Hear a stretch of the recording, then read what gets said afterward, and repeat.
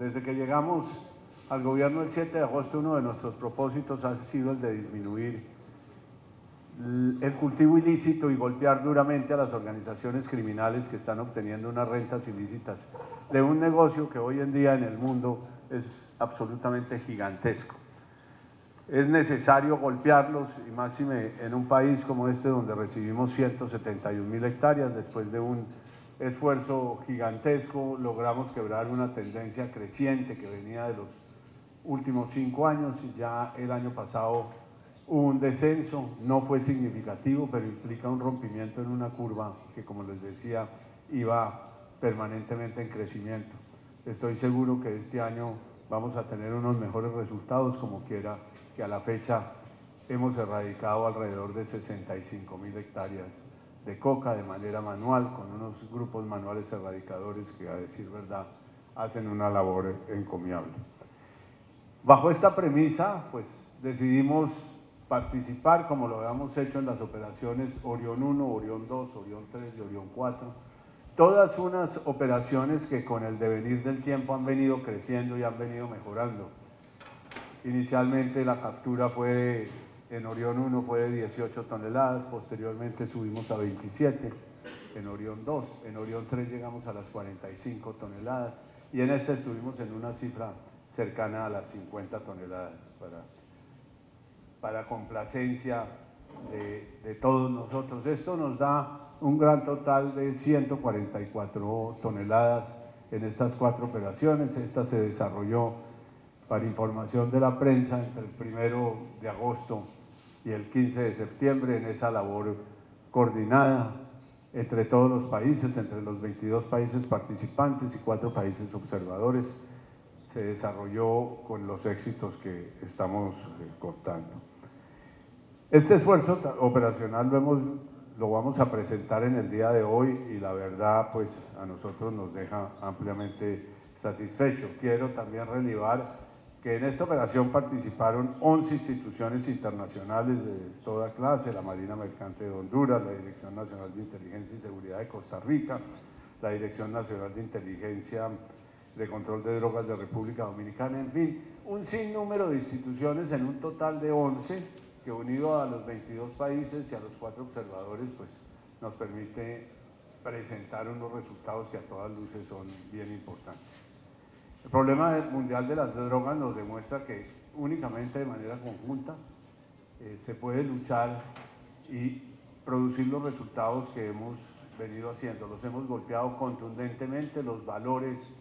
de estas drogas son inimaginables y lo que es muy relevante es el sinnúmero de dosis personales que no están llegando a una juventud en distintas latitudes del mundo y que les harían un daño inmenso. Todos los hombres y mujeres que participaron de esta operación merecen mi reconocimiento, mi admiración. Ya expresamos el dolor que tuvimos con los tres suboficiales fallecidos. Para ellos nuestras oraciones y nuestro deseo de que descansen en paz, a sus familias, nuestros sentimientos de aprecio y consideración. Eh, de esa manera yo estoy seguro que estaremos construyendo una América Latina muchísimo más productiva, muchísimo más eh, organizada, con menos rentas criminales, con menos lavado de activos y con muchísimo menos contrabando. Muchísimas gracias.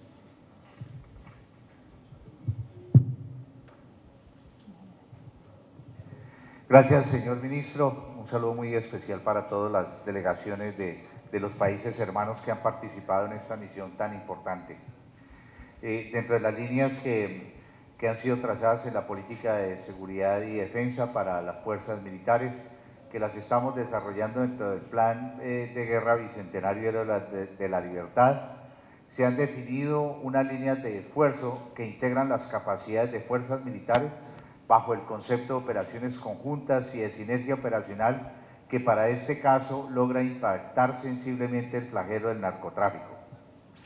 Hacen parte de, parte de esta iniciativa el desarrollo de operaciones eh, combinadas, coordinadas e interagenciales a través de una gran alianza estratégica bajo el marco de los acuerdos de cooperación internacional de 22 países hermanos participantes Recordemos que lo más efectivo para combatir crimen transnacional organizado y de manera específica el narcotráfico, la cooperación, funda, la cooperación internacional es fundamental, clave y decisiva. Eh, con este ejercicio hemos eh, aunado aún más eh, conceptos de responsabilidad compartida entre los países afectados por el fenómeno del narcotráfico en la región. Hemos mejorado la interoperabilidad regional, fortalecimos la confianza entre los países comprometidos entre la lucha contra las drogas ilícitas,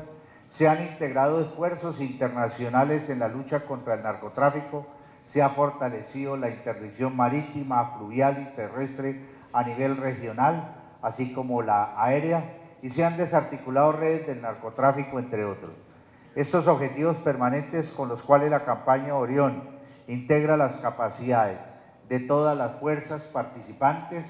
y de los países participantes, esto ayuda a que sea una operación exitosa en este tipo de flagelos.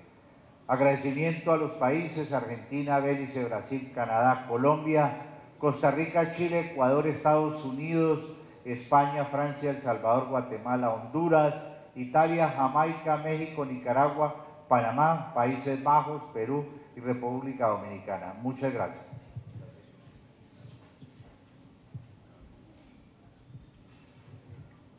Muy buenos días para todos, un saludo muy especial parte de los hombres y mujeres de la Fuerza Aérea Colombiana.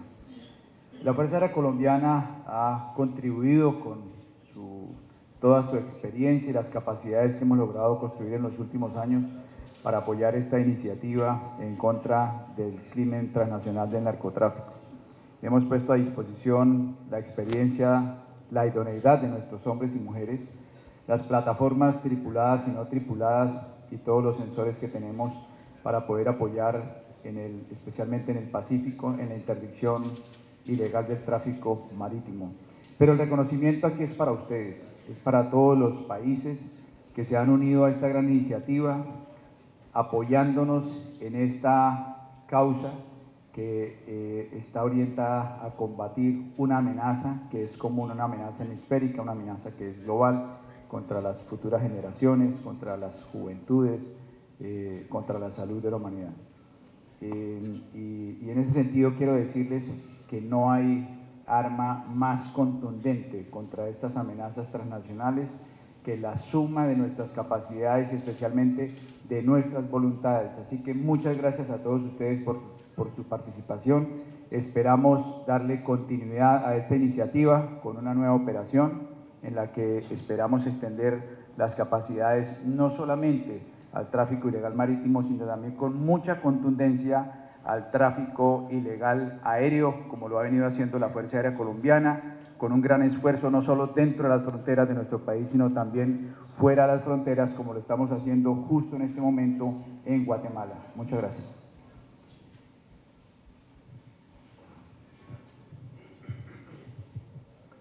Señor Ministro Miguel Navarro, señores comandantes de fuerza, eh, Distinguidos asistentes, inicialmente un reconocimiento muy especial, por supuesto, a los países que hicieron parte de esta cuarta campaña Orión y un saludo, por supuesto, a los representantes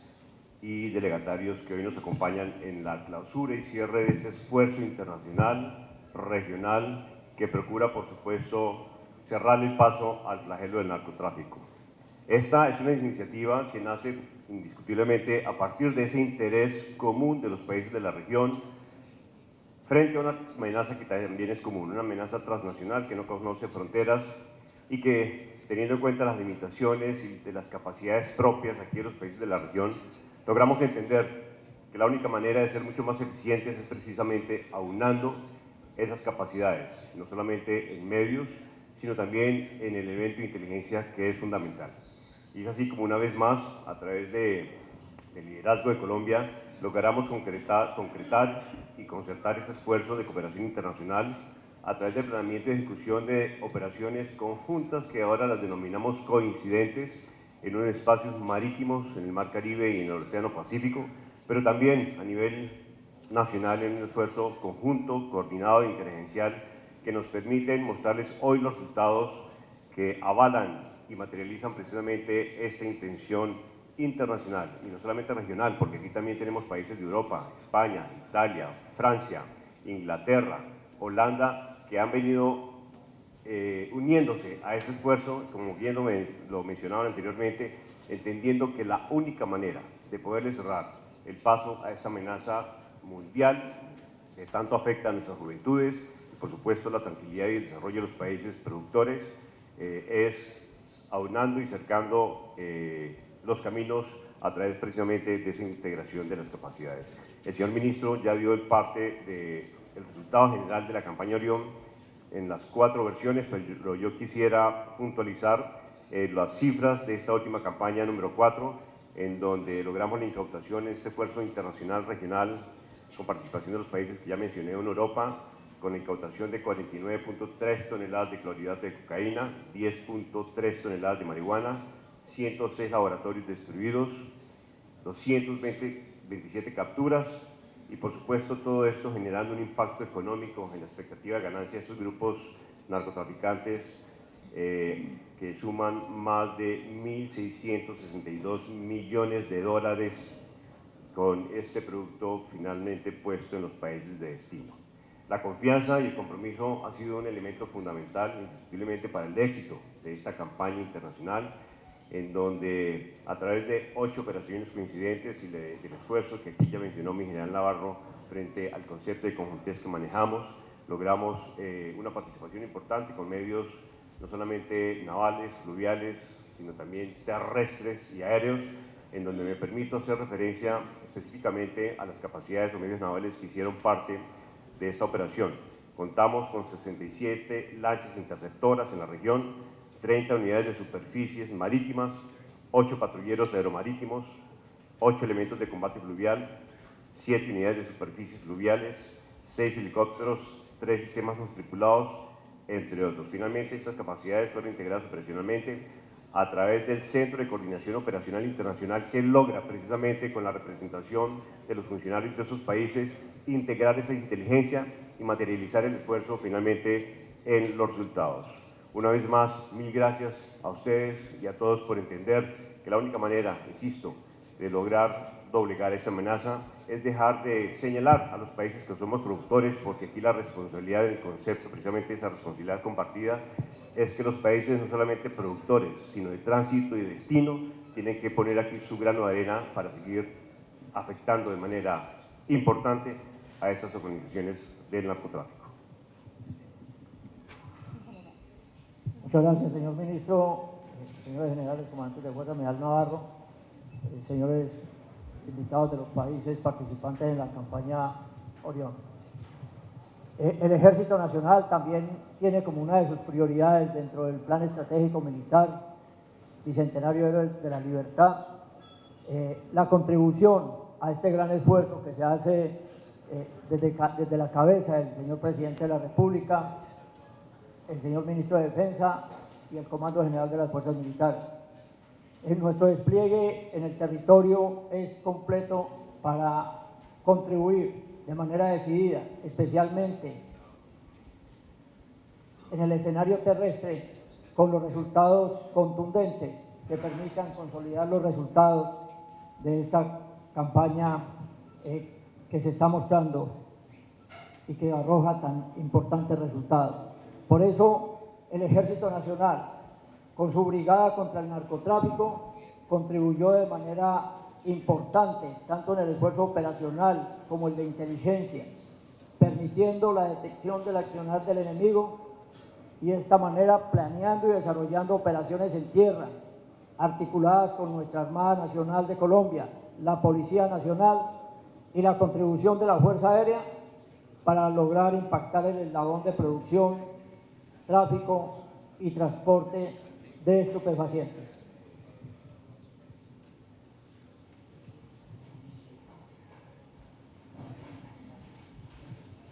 Muy buenos días. Eh, siguiendo un poco con la idea de esta unión regional que contrarrestra esta amenaza transnacional del narcotráfico, la Policía Nacional a través de la Dirección de Antinarcóticos, también de manera muy decidida, en un esfuerzo conjunto y coordinado, con todas las fuerzas, con la Fiscalía General de la Nación, eh, ha contribuido a este esfuerzo de la Operación Orión. Hemos, eh, contribuimos con 33 personas eh, que fueron capturadas, la incautación de más de 1.1 toneladas de marihuana, 101 kilogramos de cocaína, 500 kilogramos de hoja de coca, 1.453 galones de insumos químicos, 690 kilogramos de insumos sólidos y, en fin, un gran sinnúmero de laboratorios a lo largo y ancho del país en este esfuerzo conjunto y coordinado de todas las fuerzas. Le damos ahora la palabra a la señora fiscal Livia Amparo Gil Gil, fiscal especializada contra el narcotráfico. Muy buenos días para todos. En representación de la Fiscalía de Amparo Gil, como ya lo dijeron,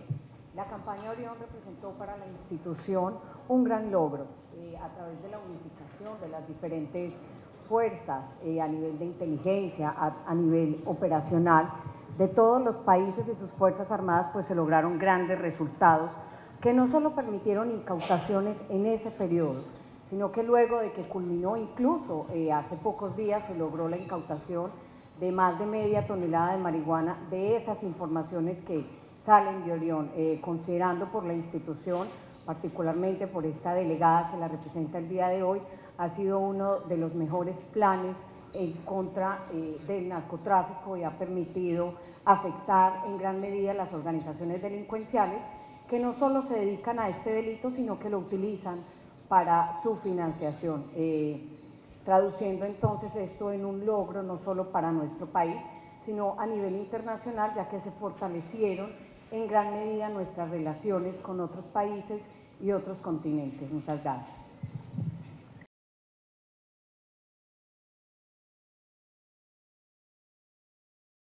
Señor ministro, dentro de esta eh, etapa de la campaña, ¿qué de novedoso hubo? ¿Qué hallazgos novedosos eh, encontraron ustedes? Y teniendo en cuenta que siempre los narcotraficantes buscan otras alternativas para burlar la seguridad, eh, ¿qué hay de nuevo en eso? Pues yo diría que varias cosas. En primer lugar, que se ha vuelto de común uso el uso de semisumergibles, que no son fácilmente detectables desde el aire ni desde el mar. Esta es una modalidad que permite, en primer lugar, cargar unos volúmenes supremamente altos de coca que no lo pueden hacer las, las lanchas voladoras, las lanchas rápidas que tienen una capacidad inferior o cercana a la tonelada. Esto les permite cargar muchísimo más coca y yo diría que en ese sentido es una total y absoluta novedad. Lo segundo es la vigilancia que hemos venido ejerciendo sobre eventuales proveedores de combustibles en alta mar. Eh, allí encontramos un negocio muy próspero para algunos pescadores que están vendiendo a estos lancheros combustible que les permite tener una trayectoria muchísimo más larga que de otra manera sería imposible. Yo destacaría esos dos aspectos, hay algunos otros que tienen un carácter reservado por el momento.